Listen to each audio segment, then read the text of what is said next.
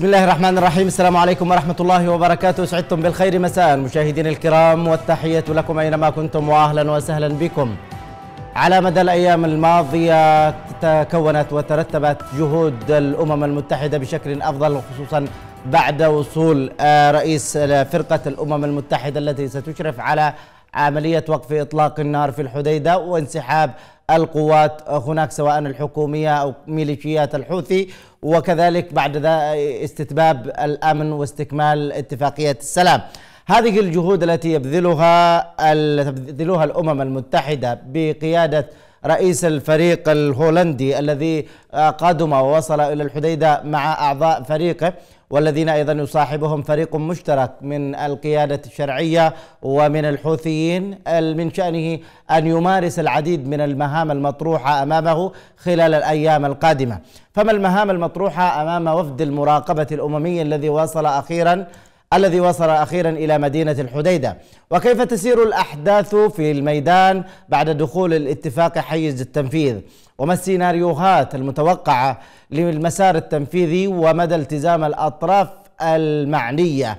وصول البعثة الأممية إلى الحديدة والمهام التي تنتظرها موضوع حديثنا ونقاشنا هذه الليلة من برنامج مستقبل وطن. وهذا النقاش أفتحه مع ضيفي عبر الأقمار الصناعية من مارب الشيخ هادي هيج عضو الوفد الحكومي المشارك في مشاورات السويد وعضو مجلس الشورى رئيس مؤسسة الأسرى والمحتجزين.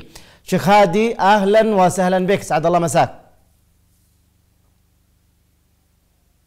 أهلا وسهلا أخي مختار. مرحبا بك. أهلا والتحية لك. سنناقش معك واقع الميدان في في الحديدة وطبيعة العمل الذي تج... الأعمال التي تجري هناك بقيادة الفريق بقيادة الجنرال الهولندي الذي يقود فريق الأمم المتحدة للمراقبة والإشراف على عمليات تطبيع الحياة هناك ووقف إطلاق النار وسحب القوات والمسلحين من موانئ الحديدة وشوارعها.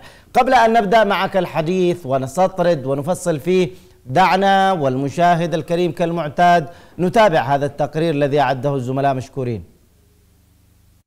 بعد عدن وصنعاء وصل رئيس الفريق الأممي الجنرال الهولندي باتريك كاميرت إلى الحديدة حيث المهمة التي تنتظره مع فريقه. ما بين وصول باتريك إلى مطار عدن وزيارته لميناء الحديدة فترة قصيرة ملأها الحوثيون بانتهاكات كثيرة جعلت توقعات كثيرين تذهب باتجاه ترجيح فشل المهمة. ترجيحات الفشل استندت بالإضافة لاستمرار الخروقات إلى انعدام العقوبات. ووفقا لعضو وفد الحكومة الشرعية هادي الهيج فإن اتفاقية الحديدة التي تمت في ستوكهولم لم تشمل على بند عقوبات في حال إخلال أحد الطرفين. مبينا أن الأمم المتحدة اكتفت بالتزامها شفهيا بأن تكون ضد من يخالف الاتفاقية. ووفقا للهيج فإن المتوقع أن يسهم وجود الجنرال كاميرت في التوضيح للأمم المتحدة عن مرتكب الخروقات. مضيفا سنرى ما الذي سيقوم به فريق باتريك. ما سيقوم به فريق باتريك. وفقا للمبعوث الأممي مارتن جريفيث يشمل تمركز المراقبين غير المسلحين في مواقع رئيسية بأنحاء مدينة الحديدة ومينائها. مزودين بآلية إبلاغ قوية وسيقدمون تقارير أسبوعية إلى مجلس الأمن بشأن الامتثال للاتفاق. جريفيث أضاف أن المراقبين سيعتمدون بشكل أساسي على حسن نوايا الأطراف وتحت فقرة الاعتماد على حسن النوايا وضع اليمنيون ألف خط استغراب. فمعاناتهم مع الميليشيا علمتهم أن الحديث عن حسن النوايا من قبل الميليشيا مجرد سراب. وصل الفريق الأممي إذن فوصل اليمنيون إلى النقطة الفاصلة التي ستوضح من أساء فهم اتفاق السويد أو تعمد المغالطة في شرحه. فإما أن يتلو وصول الفريق انسحاب الميليشيا وتسليم المدينة ومينائها للسلطة الشرعية فتكون خطوة على طريق انتصار الشعب. أو أن يتلو ذلك مزيد من المغالطات والتدليل ومنح الميليشيا فرصة لالتقاط الأنفاس والسلاح معا. وتلك ستكون خطيئة كبرى بحق الوطن والإنسانية. شكرا للزملاء على هذا التقرير. أجدد الترحيب بضيفي عبر الأقمار الصناعية من مارب الشيخ هادي هج عضو الوفد الحكومي المشارك في مشاورات السويد عضو مجلس الشورى ورئيس مؤسسة الأسرى والمحتجزين. بعد تجديد الترحيب بك شيخ هادي لو تذكرنا مع بداية هذا الحوار تلك الإجراءات التي تم الاتفاق عليها في اتفاقية السويد خصوصا بما يتعلق بالحديدة وإلى أي مدى قطعت شوط؟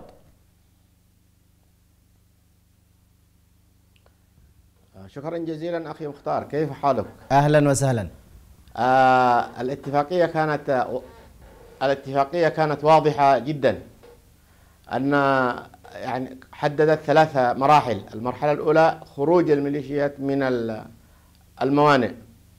والمرحلة الثانية آه، أن تعود القوات 500 متر عن شارع صنعاء شمالا وجنوبا. والمرحلة الثالثة خروج الباقي بقية الميليشيات من المدينة. هذا آه، كان هو الاتفاق وهذا سير العمل الذي سيكون هناك. القرار 2451 وضح ذلك وقال أن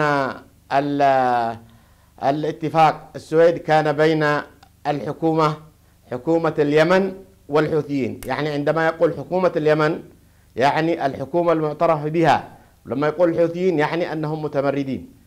والآن الحديدة نموذجا لتطبيق القرار 2216 آه، فالآن آه، المجتمع الدولي والأمم المتحدة أمام المحك. فهل ستكون الحديدة تطبيقا واضحا للقرار 22 16 هذا آه، إذا طبق هناك فأن فإن السلام في اليمن سيكون عن طريق ال ال المسار السياسي. وإن لم يطبق فستعود الأمور آه، عكسية تماما. ما هو المطلوب من آه، باتريك؟ نحن نحن نطلب من باتريك أولا أن أن يعرف المهمة. يعرف مهمته ولا يعرف هذه المهمة إلا إذا عرف الاتفاقية ودرسها دراسة متأنية ثم ربطها بالقرار 2451 وربط هذا القرار بالقرارات السابقة وخاصة قرار 2216 وال والبيان الصادر عن آه، مجلس الأمن هذه كلها تدل آه. بوضوح أن نعم. الاتفاق بين ميليشيات وبين حكومة. أي نعم واضح هذه النقطة وهي في غاية الأهمية. لكن هنا يأتي دور دور الشرعية ودور أيضا الوفد المفاوض باللقاء معه والتباحث والتذكير بهذه المرتكزات الأساسية التي أشرت إليها. نعم آه، آه، إحنا نعتقد في وفدنا أنه آه، وفد على مستوى المسؤولية. الأخ صغير عزيز أو أحمد الكوكباني أو غيرهم من الإخوة الذين تولوا هذه المهمة نرى أنهم أكفاء لهذه المهمة وسيؤدون إن شاء الله هذه المهمة بكل نجاح وبكل جدية إيه ص... آه آه اللواء صغير عزيز هو عضو الوفد الحكومي المشارك وهو أيضا عضو اللجنة العسكرية أليس كذلك؟ نعم هو عضو ليس عضو الوفد المشارك. عضو الوفد المشارك الأخ عثمان مجلي آه هو آه تقريبا كان في الوفود السابق. ليس عضو الوفد المشارك لكنه رئيس اللجنة. آه, آه، جيد. طيب الآن منذ أن تم الإعلان وإشهار هذا الاتفاق عشرة أيام مضت تقريبا. سمها إذا كنا قد أنهينا هذا الاتفاق في الثاني عشر أو الثالث عشر من هذا الشهر. عشرة أيام مضت. من عمر هذه الاتفاقية والذي حددها أيضا بواحد بثلاثين يوم أو واحد وثلاثين يوما. آه يعني كيف إلى أي مدى تم الاستفادة من هذه المدة قرابة الأسبوعين؟ هي حددت بواحد وعشرين يوم. تبدأ بأربع أيام للخروج من الموانئ. للخروج من الموانئ حددت أربع أيام. ثم بعد ذلك عشر أيام لفك الاشتباك وجعل شارع صنعاء شارعا خال من من السلاح. ثم بعدها آه، يكتمل الواحد والعشرين تخرج الميليشيات من المدينة آه، بالكامل. وتسلم إلى السلطة المحلية وإلى قوات الأمن المحلي. ولا يغرر علينا أنه يأتي آه، صاحب لابس الزنة يخرج ثم يلبس ميري. هذا لا ينطلي على على الآخرين. سنأتي إليه لكن أنت أشرت الآن أن المدة التي مضت ليست من عمر الاتفاقية. هي الأصل أن تكون من عمر الاتفاقية. لكن آه نعطي لهم آه، مجال أنهم نقول يبدأوا من من من وقت متأخر. المهم أن تكون أربع أيام يخرجوا من من الموانئ. أنا كنت تكلمت مع المعين شرين قلت له متى ستبدأ الاتفاقية؟ قال بعد وصول آه المراقبين إلى الحديدة. آه واضح. طيب لدينا آه, آه، أيام آه، تم الإعلان من قبل الأمم المتحدة بأنها أيام مفترض أن يتوقف فيها إطلاق النار من الطرفين. لكن كل هذه الأيام مشوهة من حيث الالتزام وخصوصا التزام ميليشيات الحوثي بها وبالمطلوب منها وهو وقف إطلاق النار. ورصدت وحتى الآن خروقات كبيرة على هذا الأساس. ما تفسيرك وتعليقك على ذلك؟ كان الحوثي يعتقد أنه سيحقق اختراق خلال هذه المرحلة. الاختراق هذا هو أن القوات الشرعية لديها توجيه من رئيس الجمهورية حفظه الله أنه نحن عملنا هدنة ونحن مع أبناء الشعب ونحن نعتبر أي هدنة في صالح الشعب آه، ليست خسارة وليست تراجع وليست انتكاسة. ولهذا أوقفهم من أول ما وقعنا الاتفاقية. فأعتقد الآخر أن أن الحوثي أعتقد الحوثي بأنه يمكن أن يحقق آه، اختراق في هذا الجانب. وحاول آه، يكرس جهده في هذه الفترة على أساس أنه يعمل اختراقات. يعني اختراقات آه، عسكرية لهذه المناطق. فحاول بالهجوم على شارع صنعاء وحاول بالهجوم على 22 مايو وحاول بالهجوم على الدريهمي وحاول بالهجوم على الجاح. لكن كل هذه باءت بالفشل لأن الجيش آه واضح له أن الآخر سيغدر به فهو آخذ انتباهه. آه. طيب وصل أخيرا قائد البعثة الأممية التي ستراقب وستشرف على تنفيذ اتفاق الحديدة. آه يعني إلى الآن يتم الحديث عن خروقات رغم وصول آه البعثة الأممية والمطلوب يعني لأداء عملها ومراقبة الوضع. هنا سيكون المبعوث آه، باتريك وأصحابه على المحك. هل سيستطيعون فعلا آه، رفع آه، هذه الخروقات بحيادية وجعل الطرفين يعني في على مسافة واحدة منهم؟ هذا هذا هو المحك الذي نحن ننتظره الآن. والخروقات الحقيقة لا زالت قائمة من من الحوثي. ومع توقف القوات الشرعية من أي خروقات تعملها؟ لأن الرئيس توجيهاته كانت واضحة. آه هو يريدون من طرف الشرعية أن ينسحب أو يتخذ موقف لينجو من ورطتهم التي أدخلوا أنفسهم. هم يرون أنهم دخلوا في ورطة هي ورطة الانسحاب آه بهذا الشكل. وهي في الأخيرة آه طوق نجاة لهم. لأنهم كانت قوتهم ستنهار شاءوا أم أبوا وستزول بضربات الأبطال. لكن الآن إلى أي مدى شيخ هادي آه، وصول البعثة الأممية إلى الحديدة قد آه، تم الترتيب له؟ الاستعداد هناك حديث على أن أن البعثة الأممية بقيادة الجنرال الهولندي التقت بالقيادات العسكرية اليمنية والقيادات المقدمة من الحوثيين. ما هي الترتيبات التي لديك؟ أو المعلومات حول هذا الموضوع. هو الآن آه، الباتريك ترى عنده خبرة تراكمية آه، سابقة. وأتوقع أنه يرتب ترتيبات آه، جيدة. لكن إلى الآن لم تتم أي ترتيبات. هو الآن مطلوب أن تجتمع اللجنة بقوامها ما هو المكان الذي يجتمعون فيه؟ هم الآن حددوا عدة خيارات منها خيار البحر ولا زال الخيار قائم. ونحن ننتظر ماذا سينتج عن هذه الترتيبات. خيار البحر يعني على متن السفينة أي نعم على متن سفينة. آه يعني من نظرا لجوانب أمنية يعني أخذ الاعتبار اعتبار الجوانب الأمنية. هو يقصد هذا ونحن أيضا آه، ننبه لجنتنا المبجلة أنها تأخذ آه، احتياطاتها الأمنية كاملة. جيد. آه، اللجنة الأمنية العسكرية الممثلة للحكومة الشرعية هي في الحديدة الآن.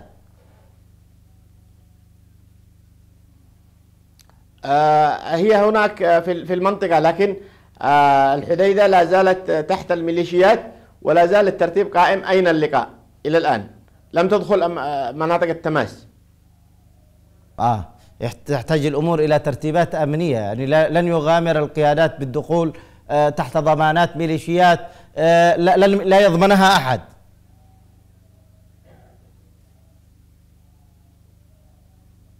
طيب آه، شيخ هادي أربعين الآن يقال أربعين نعم. من أعضاء الفرق البعثة الأممية أو ممن يرافق الباتريك الجنرال الهولندي لترتيب والإشراف على عمليات الانسحاب وعلى مراقبة وقف إطلاق النار.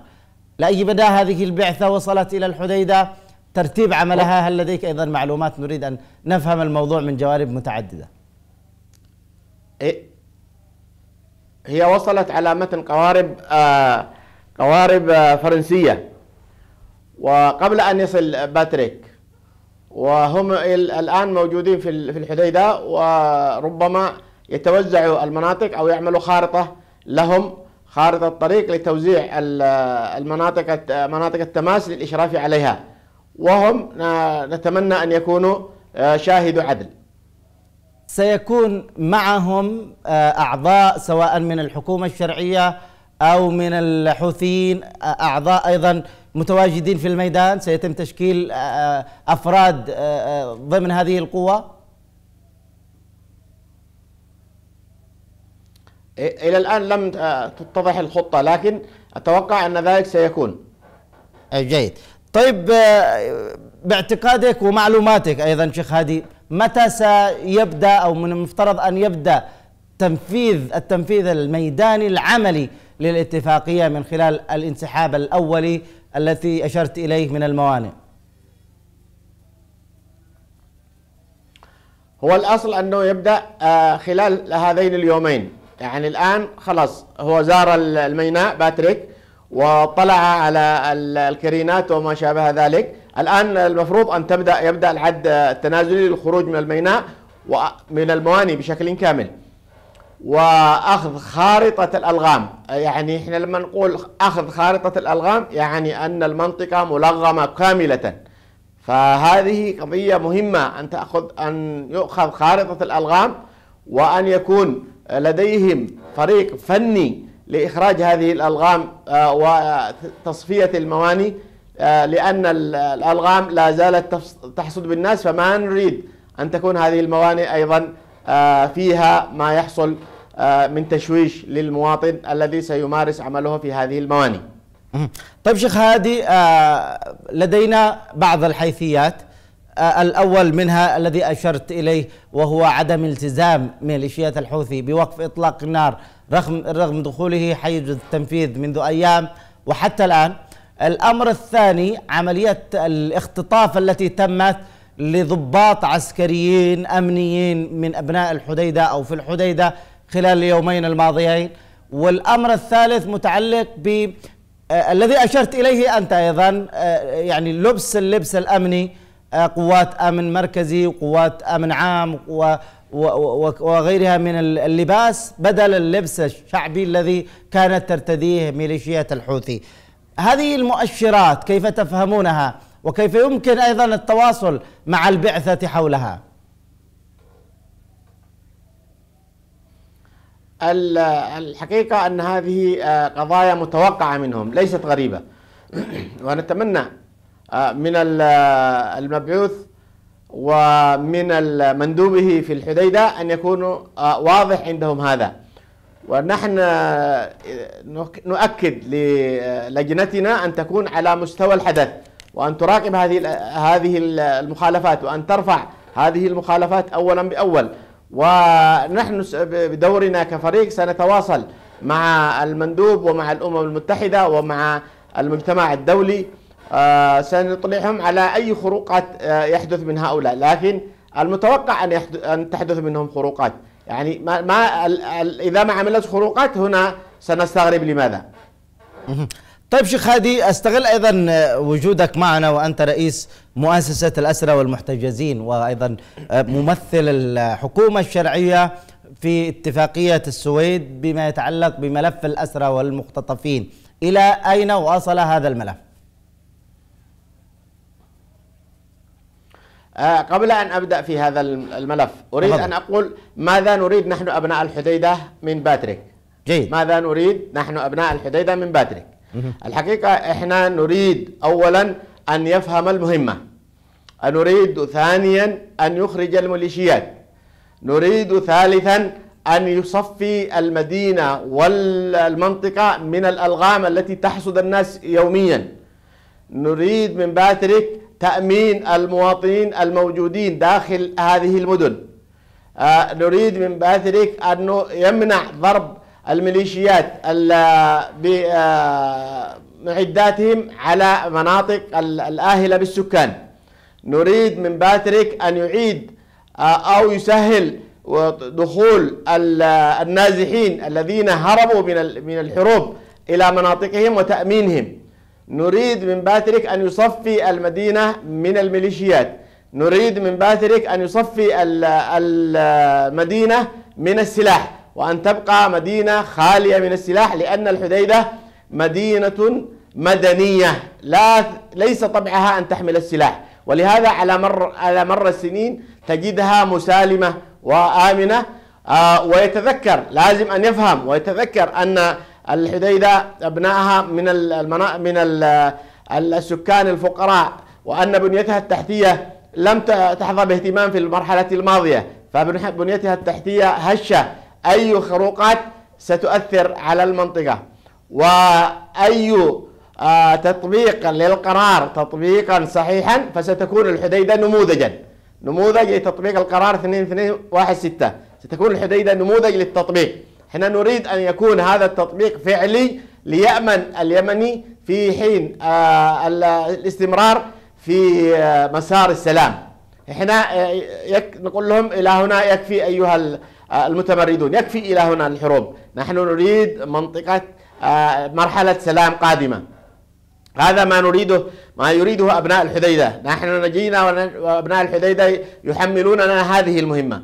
آه، ونريد من الشرعية أن تتابع هذه القضايا باهتمام وتتابع هذه القضايا بجدية وتتابع اللجنة آه، المشرفة مع باتريك. اللجنة الممثلة للحكومة اليمنية تتابعها بكل اهتمام وجدية هذا ما نعمله أيضا من الشرعية ونطلب من الآخر أنه يكفي الحديدة إلى هنا هذه طلبات أبناء الحديدة إيه؟ أما الملف اللي ذكرته نعم. هو آه، سائر الآن السير فيه سيرا جيدا وبدأ العد التنازلي للتسليم الإفادات واحتمال تكون تسليم الإفادات في 25 آه، ديسمبر اللي هو غدا. آه، سيكون هذا التسليم. وستبدأ المرحلة الثالثة اللي هي مرحلة الملاحظات على هذه على هذا على هذه الإفادات. آه، كان أمس لقاء معنا بالسكايب. مع الصليب الأحمر ومع المبعوث المندوب المبعوث في صنعاء. وتحدثنا آه، ما يقرب من ثلاث ساعات ونصف على التفاصيل. واتفقنا على أننا آه، نعمل آه، لقاء آخر في 27 من هذا الشهر في سيئون. وسنغادر إن شاء الله إلى سيئون خلال المراحل الأيام القادمة. ذكرنا لهم عدة أمور. الأمر الأول قلنا لهم لازم تصفوا الطريق من من العوائق التي ستعرقل ستعرقل سير هذا الملف. قالوا ما هي هذه العوائق؟ قلنا العائق الأول أنه نزول النيابات إلى السجون وفرز الناس في السجون. إحنا اتفقنا اتفاق واضح أن يكون كل من مسك على ذمة الأحداث يطلق دون قيد أو شرط. أنه يأتي ويصنف لي الناس تصنيف هذا غير مقبول. كما قلنا لهم أنه أن يحال آه، بعض المخطوفين إلى النيابة هذه من العراقيل التي ستقف أمام هذا الملف. من العراقيل التي ستقف أمام هذا الملف آه، ممتلكات المواطن. هذا المواطن الذي لديه ممتلكات أخذت.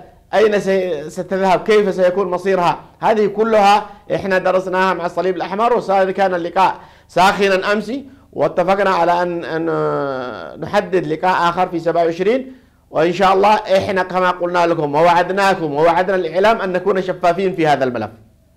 جيد. وكل ما تذكره أيضا واضح وبكل وضوح وبدون مواربة. آه، شيخ هادي دعني أختم معك بالنقطة التي أشرت إليها وأن وهو أن الأمم المتحدة لم تضع عقوبات لمن يعرقل آه هذا الاتفاق. اتفاق الحديدة.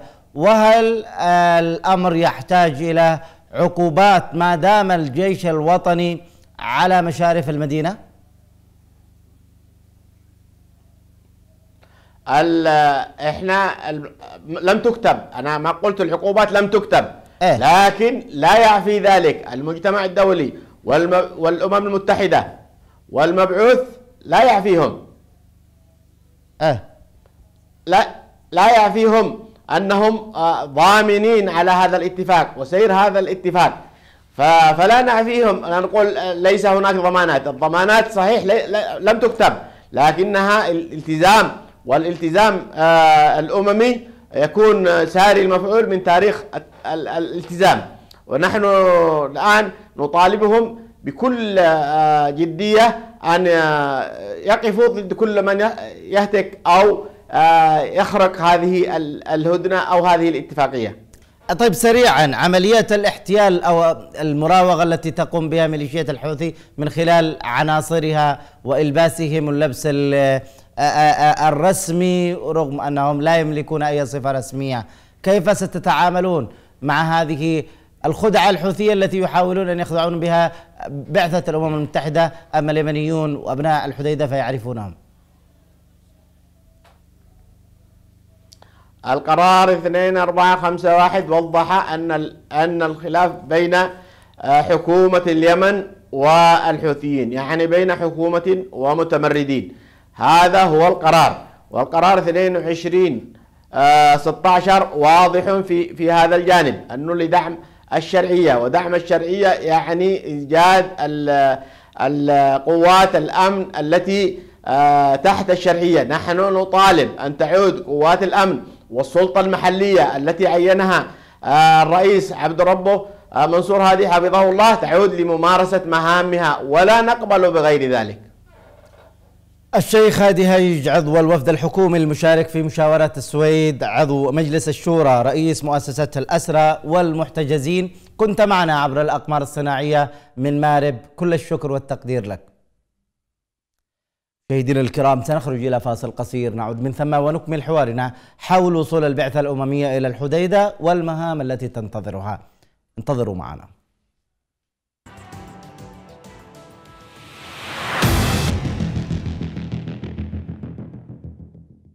مرحبا بكم مشاهدينا. عدنا إليكم بعد هذا الفاصل القصير لنكمل حلقتنا وحوارنا حول وصول البعثة الأممية إلى الحديدة والمهام التي تنتظرها. أستكمل الحديث حول هذا الموضوع مع ضيفي من عدن عبر الهاتف آه وكيل أول محافظة الحديدة الأستاذ وليد القديمي. أستاذ وليد مع سعادة الوكيل أهلا وسهلا بك.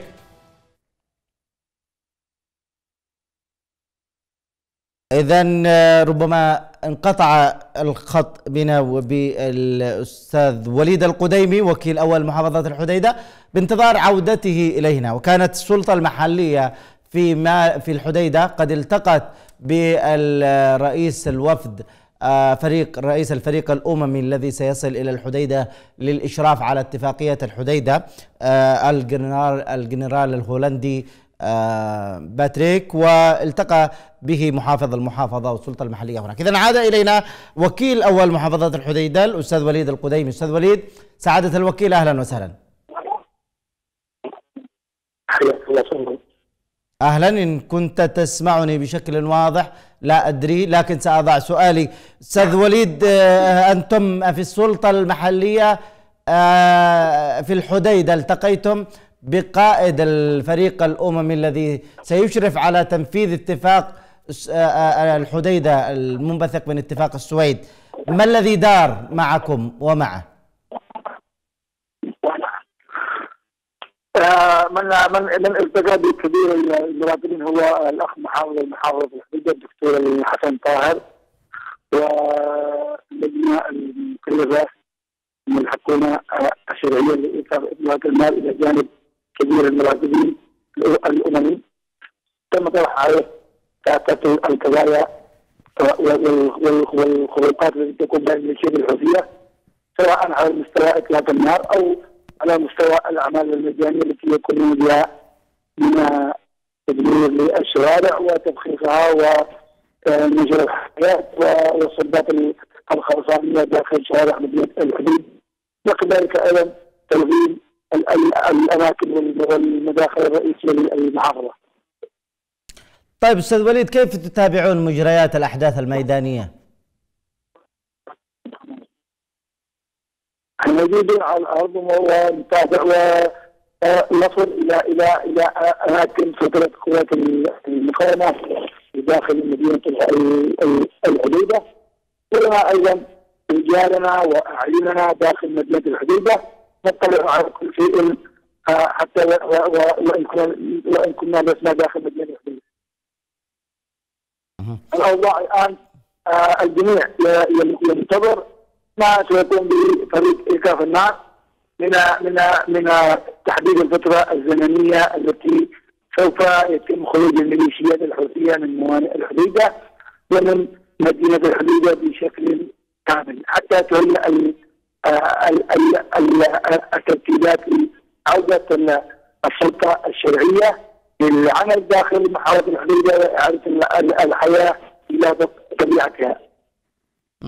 طيب أستاذ وليد فيما يتعلق بالأعمال التي تقوم بها تلك الميليشيات الحوثية البعض سواء من حيث خرق الهدنة أو من حيث محاولة التغرير على البعثة الأممية بأن الذين يوجدون في شوارع الحديدة اليوم هم جهات رسمية، كيف تراقبون ويمكن أيضا أن تردون على مثل هذه الأعمال؟ الميليشيات الحوثية كانت باعلام العسكريين وال 2014 من الحروبات في ترتيب تجهيز حروبات وبطائق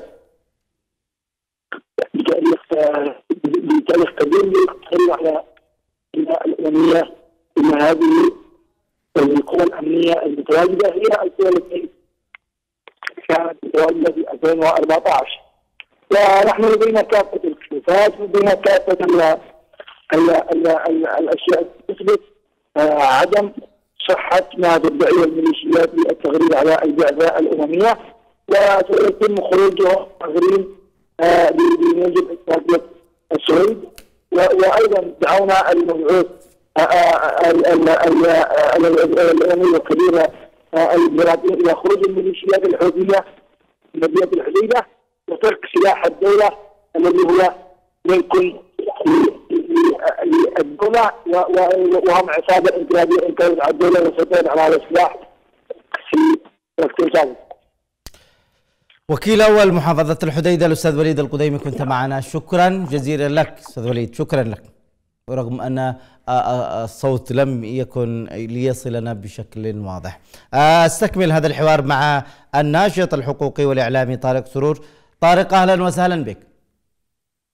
مرحبا أخي الكريم. مرحبا والتحية لك ونحن نناقش ونسلط الضوء على وصول البعثة الأممية إلى الحديدة والمهام التي تنتظرها. ما المعل... ماذا تقول المعلومات التي تصلكم من الميدان؟ المعلومات اللي تصل الميدان الخروقات استمرار خروقات وانتهاكات الميليشيا الانقلابية على مدينة الحديدة وبحسب اليوم إعلام التحالف وصلت الخروقات إلى 138 خرق ومخالفة منذ بدء إعلان الهدنة. تمثلت في الوضع العام مستمر في قطع الشوارع والأحياء في الحاويات والشواطر و تفصيل المدينة على أجزاء ومربعات. استمرار القصف على أحياء المدينة وإصابة الكثير من المدنيين. استهداف القوات المشتركة في شارع الخمسين وشمال شرق المدينة واستهداف أيضا القوات المشتركة بجانب مصانع نانا وبجانب مصانع إخوان ثابت بقذائف مختلفة. آه، محاولات تسلل إلى مركز سيتي ماكس واشتعال حريق في حوش المركز. آه، أيضا تمثلت الخروقات في محاولة تفخيخ فندق الرفاهيه بدوار من الموبايل من الموبايل واستهدافه بالعديد من القذائف. استمرار القصف آه، المركز والعنيف على مناطق الجبلية والمغرس والفارجة في التحيتة وفي الخط الساحلي ومحاولة قطع الخط الساحلي الذي يربط المديريات في مدينة الحديدة من قبل هذه الميليشيات. آه اليوم كان المراقب باترك وكبير المراقبين زار ميناء الحديدة.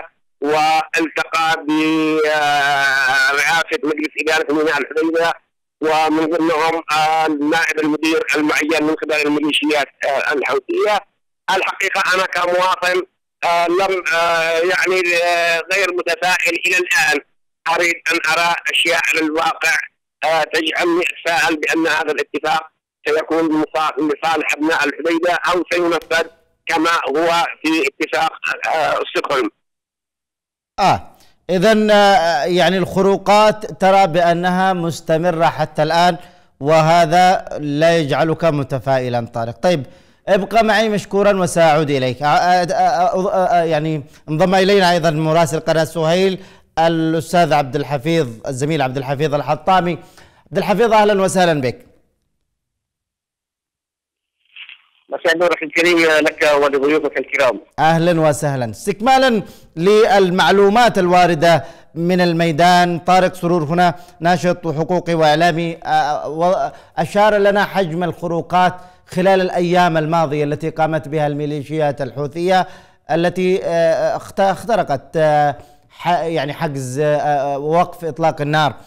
ماذا لديك من معلومات ميدانية؟ أيضا سيد عبد الحفيظ عن الأوضاع في مدينة الحديدة. نحن الأوضاع طبعا آه، ميليشيات الحوثي تقوم بعملية بمحاولة تضليل المجتمع الدولي من خلال استبدال الملابس لعناصرها المتهمة بالإرهاب وبالاعمال الإجرامية التي ارتكبتها بحق المدنيين بذاتهم لباس الأمن المركزي والأمن العام والنجدة.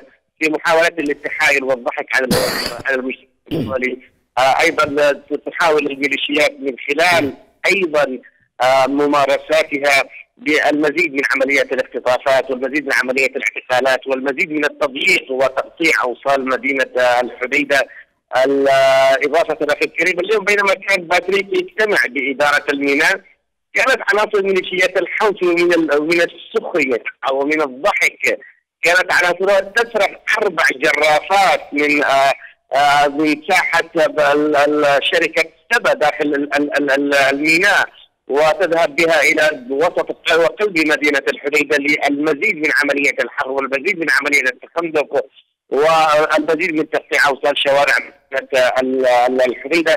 هذه الميليشيات لا عهد ولا ميثاق لها.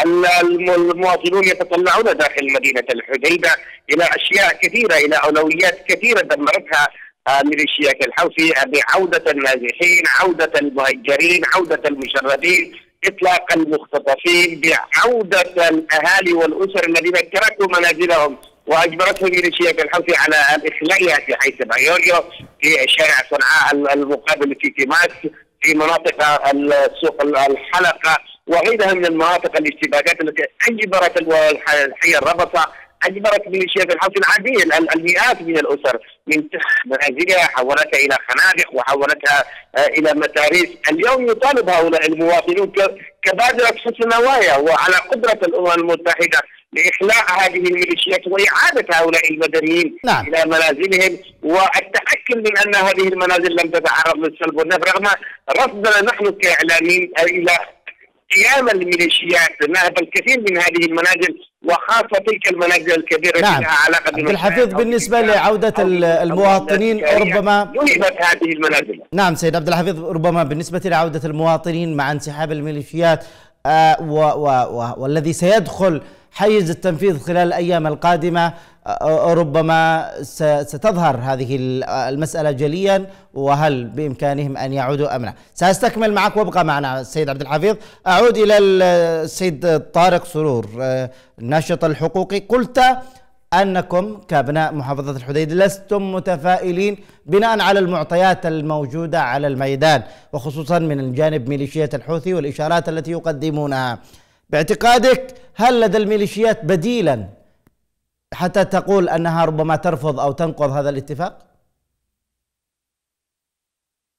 الميليشيات ليس لها بديل الميليشيات هي مثل ما ذكر أيضا الزميل عبد الحميد الحطامي تحاول أن تقرر بالمجتمع الدولي وتحاول أن تفرض أفرادها والذين عينوها وتحاول أن ترسمهم أو تجعلهم بشكل رسمي في المدينة هذه نقطة مهمة يجب الانتباه لها من قبل لجنة المراقبة ومن قبل الجميع.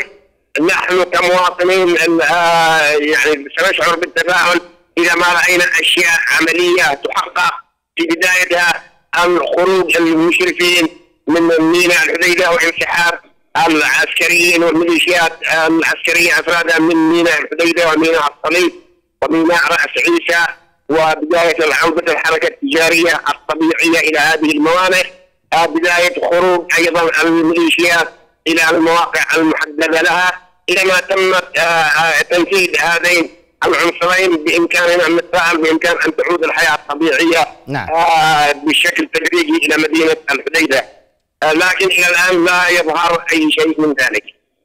ربما لأنه حتى الآن لم يبدأ الفريق الأممي بالنقاط والمفاصل الأساسية لاتفاقيات ستوكهولم بما يخص الحديدة. طارق سرور الناشط الحقوقي والإعلامي كنت معنا، شكرا جزيلا لك سيد طارق. عود إلى سيد عبد الحفيظ الحطامي فيما يتعلق سيد عبد الحفيظ ب يعني حضور أبناء الحديدة في الحل المفترض الذي قدمته اتفاقية السويد للحديدة ومينائها وأدواتها وكذلك المحافظة بشكل عام أين موقعهم؟ سواء من حيث من يستلم أو من يدير. أبناء الحديدة موجودين في وكالة السلطة المحلية أو تواجدهم في قوات الجيش وقوات الأمن المتواجدة في الفوخة في المقع في أيضا لديهم معسكرات في عدن في مختلف المحافظات المحرره الحديده متواجدون بالآلاف وبعشرات الآلاف في مختلف جبهات الدفاع عن الوطن. وأيضا في الساحل الغربي في جبهات ليبي وحرب وأيضا في السلطة المحلية هناك استكمال للسلطة المحلية إضافة إلى أن هناك أيضا من موظفي السلطات السلطة المحلية المحافظة داخل مدينة الحديده يتوقون أيضا ان تعود الحكومة الشرعية لإدارة مفاصل هذه السلطة وإدارة المؤسسات الإرادية كالميناء، الضرائب، الجمارك التي والكهرباء والمياه وغيرها من المؤسسات السيادية التي تحرض لعمل تحرض في عمليات النهب والتجديد وعمليات نهب الأموال الخاصة والعامة وبالتالي ابناء الحديدة إلى أن تعود يعود السلم في المجتمع في محافظة مسالمة وقادرة على وقادرون على إدارة محافظتهم ولكن للأسف الشديد يعني حتى في المؤتمر الذي دار في الاستقرار في السويد وضع خطط عامة ولم توجد ولم يضع يعني ضوابط لكبح جماح هذه الميليشيات من تنفيذ تلك الاتفاقات وتلك المشاورات التي تمت بحسب تصريح عضو الوفد الشيخ هاني هي. تحدث صراحة اليوم للشرق الأوسط بأنه لا يوجد يعني ضمانات ولا حتى ولم ولم توضع بنود عقوبات لعملية أن أن تقوم هذه الميليشيات بتنفيذ كافة ما اتفق عليه في استقبال لإعادة وتسليم الموانئ ومدينة الحديدة إلى إلى إلى أهلها وإلى أبنائها. نعم. مراسل قناه سهيل الفضائية عبد الحفيظ الحطامي كنت معنا شكرا جزيلا لك مراسلنا في الحديدة.